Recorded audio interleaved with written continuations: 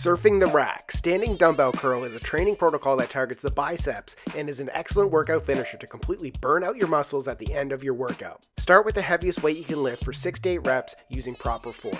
To get started, hold a set of dumbbells by your sides with the palms facing forward grip. Contract your abs and glutes to stabilize your body and remove any momentum during the lift. While keeping your upper arms tucked to your sides, bend your elbows and contract your biceps to curl the dumbbells up towards your shoulders.